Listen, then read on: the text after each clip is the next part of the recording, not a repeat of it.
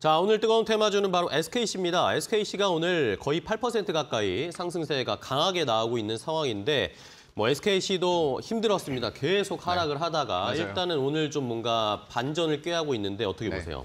아, 글쎄요. 일단 오늘 상승은 굉장히 좀 세게 올라가고 있어요. 제가 이제 원고를 드렸을 때보다 더 강하게 올라가고 있는데 이 기반은 아무래도 외국인의 수급이 좀 강하게 들어오기 때문이라고 말씀을 드릴 수가 있을 것 같고요.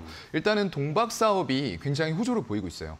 이제 동박이라고 하면 2차 전지에 사용이 되는데 머리카락 두께 10분의 1이에요. 굉장히 가늘죠. 네네. 10미크론, 10마이크로미터 정도의 두께를 가지고 있는 그런 얇은 구리박이라고 생각하시면 되고요. 이게 2차 전지 음극 집전체에서 사용되는 핵심 소재이기 때문에 결국에는 동박이 없으면 2차 전지를 만들 수가 없다. 이런 부분들이 되는 거겠죠. 그래서 이 부분이 호조로 보이면서 3분기의 매출액 8,300억 가까이 나왔고요. 영업이익도 830억이 어, 나올 것으로 좀 전망이 되고 있는 상황이에요. 실적이 호전돼가는 모습들이 점차 보이고 있고요. 거기다 더불어서 이제 반도체라던가 2차 전지, 산업 소재 이런 쪽까지 사업 부문 자체가 굉장히 다양화가 돼 있기 때문에 포트폴리오 구축으로 어느 한쪽이 좋지 않을 때 좀 방어적인 성격으로 가져가 볼 만도 한 그런 부분이라고 보입니다.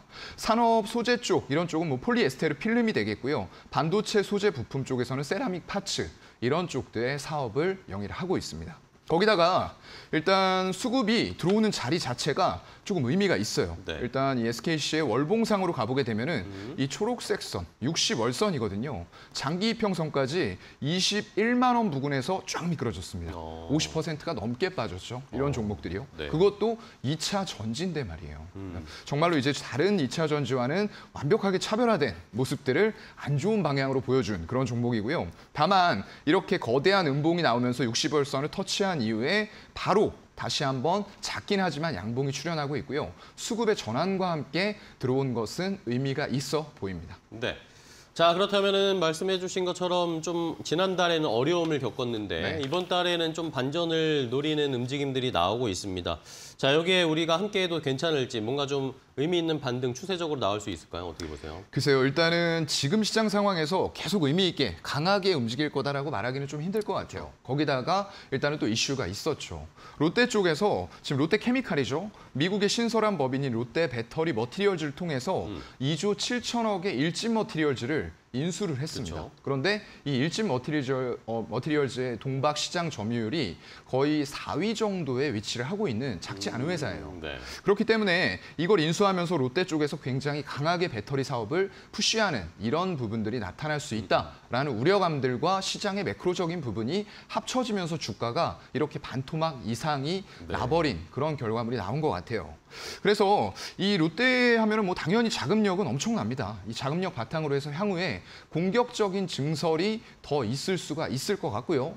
다만 이번에 일진 머티리얼즈만 인수한 게 아니에요. 그동안에 이 배터리 사업을 하기 위해서 전에 유기 용매 그리고 분리막 소재, 바나듐 이온 배터리, 양극박 이런 쪽에 굉장히 다양한 투자를 집행을 지금까지 해왔어요. 그리고 일진 머티리얼즈 인수는 또 하나의 투자가 되는 거겠죠. 그래서 배터리 쪽에 대해서 굉장히 관심이 높다 라는 부분들, 향후의 경쟁사로 됐을 때 이 상당한 자금력이 어, 지금 SKC에게는 좀 부담이 될 수 있는 어. 그런 상황으로 갈 수 있다고 보이고요. 그래도 긍정적인 부분들은 LG엔솔 이런 쪽들 배터리 셀업체가 지금 굉장히 많은 배터리를 만들어야 됩니다. 그래서 동박 공급처에 다변화는 분명히 필요해요. 지금은 어, 세계 1위 점유율을 가지고 있는 SK 넥실리스에 한 70%를 의존하고 있어요. 그렇다 보니까 어, 이쪽에서 혹시나 무슨 사고 나거나 수급에 그쵸. 차질이 생긴다라고 했을 때는 완전히 생산이 멈춰버릴 수도 있는 그런 상황이에요. 그렇다 보니까 어, 이런 쪽에서 일진 머티리얼즈 이런 쪽에도 공급을 해줄 것을 검토하고 있는 것으로 좀 그렇게 확인이 되고 있고요.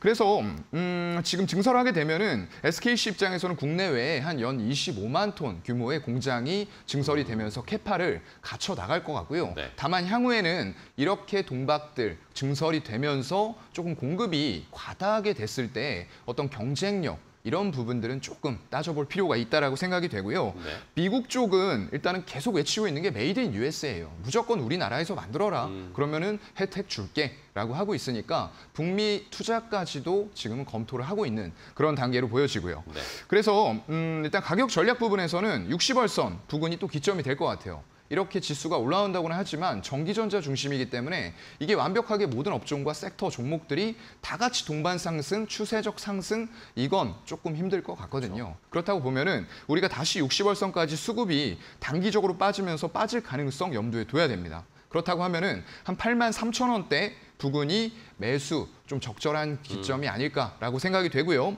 목표가는 그렇게 높게는 못 잡을 것 같아요. 바로 위쪽에 35월선 위치하고 있는 11만 원 부근을 1차 목표가로 잡도록 하고요. 손절은 60월선 장기 이평선이기 때문에 여기에서 크게 빠지는 거 계속 두고 보면 안 됩니다. 네. 10% 이내에서 여러분들 감내하실 수 있는 수준으로 손절을 단행해야 될 것 같습니다. 네, 알겠습니다. 오늘 뜨거운 테마주 SKC 저희가 이야기하고 있는 동안에도 상승 탄력이 더 높아졌습니다. 8.3% 넘게 이 상 승세를 보여주고 있는 9만 1천 원 기록하고 있는 SKC에 대한 가격 전략까지 알려드렸습니다.